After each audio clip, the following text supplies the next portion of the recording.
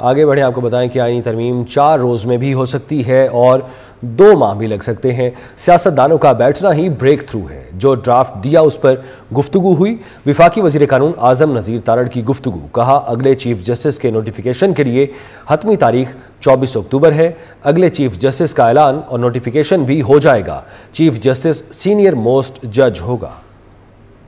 बार पहली बात तो ये है, है कि ये जुडिशल कमीशन बनने से पहले ये सारी अपॉइंटमेंट्स जो हैं 1935 से लेके ऑनवर्ड ये सारी अपॉइंटमेंट्स किसी ज़माने में गवर्नर जनरल किसी ज़माने में सदर किसी ज़माने में मार्शल लॉ एडमिनिस्ट्रेटर भी करते रहे हैं। जी जी। और ये इख्तियार अमेरिका में कौन अपॉइंट करता है? सदर। सदर करता है और पार्लियामेंट की कमेटी इंटरव्यू करती है और एक लंबा प्रोसेस होता है।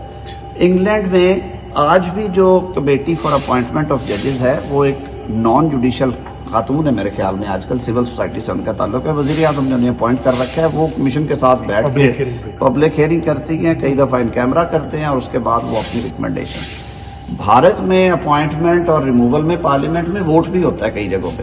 तो ये सारी दुनिया में है। इसको हमने क्यों सर हमें बार्स ने ये सजेस्ट किया है कि वज़ीर आज़म की एडवाइस पहला चीफ जस्टिस बार ने हमें ये एडवाइस किया है। कि आप पहले चीफ जस्टिस के लिए पार्लियामेंट्री कमेटी बना दें अपोजिशन और हुकूमत की।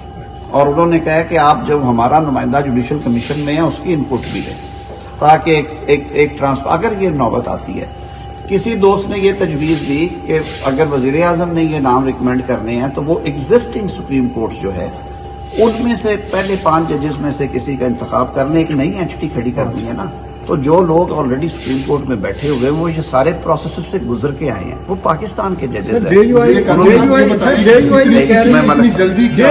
यार अभी जल्दी है भाई डेढ़ महीने से ये मामला चल रहा है। कह रही है दो सौ केसेज हैं जो आईनी कॉन्स्टिट्यूशनल है और उस पे तो लेट हो गया है उसके लिए वो कह बेंच बना दें मौजूदा सुप्रीम कोर्ट 200 कॉन्स्टिट्यूशनल केस तो एक नंबर है जो ओरिजिनल जुरिस्डिक्शन में है।